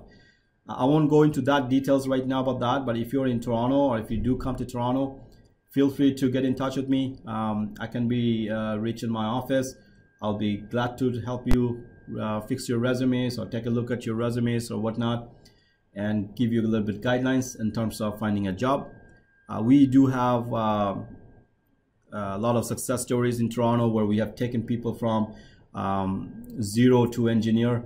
We have helped a nanny to become a Cisco engineer. We have helped uh, Uber driver to become a, a, Cisco contact center engineer making 100,000. But that's not a magic uh, pills, to be honest with you. It's a lot of dedication, a lot of hard work that it needs to be done. I do a lot of career counseling among immigrants who are new and try to make them understand look, I understand you might be the most highly qualified engineer in your country, but you're new in Canada. So you got to learn how to reset yourself.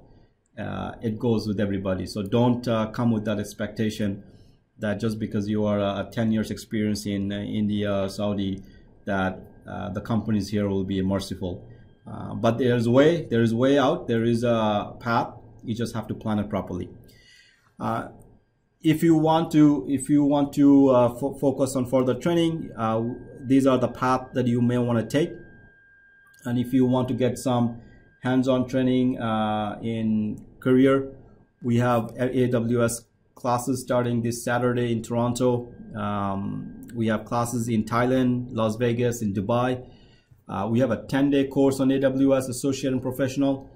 If you think that is something that you may want to look into it, take a look at our website under training, and then you will find AWS for that. Uh, we do have a weekend training for AWS in Toronto. There, are, but then remember, guys, uh, some of you can get this training from AWS website for free of charge. I'm not here to I'm not here to just sell you guys what we do. Same training that uh, you can get a lot of theory done from AWS website. So what's the difference between us and that? That we can provide you um, a lot of uh, hands-on experience and gives you a real data center experience by letting you work in our data center and migrate data to AWS as a kind of way to explain uh, getting ex hands-on experience onto that. But that's for another day. I hope you guys found this to be useful. Um, um, was uh, worth your time to spend. I do apologize for being a little longer today and hopefully uh, you will use this information to better yourself and your career. Uh, I will send you guys this slide, the videos, as well as the lab guide um, today. So there will not be any session tomorrow.